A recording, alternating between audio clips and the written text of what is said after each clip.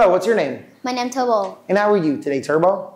I'm fighting you. Good, let's start your test. Where are they? They are at the beach. How many people do you see? I can see five people. Very good. What is it? Eat a car. Good. What is it? Eat a sheep. What is she doing? She reading a newspaper. Very good. What is it? Eat a seagull. Good. Where can you see seagulls? I can see seagull at the ocean. What is it? A pencil. Very good. What can you do with a pencil? I can draw. Good. What is it? Eat a sun hat. Good. When do you wear a sun hat?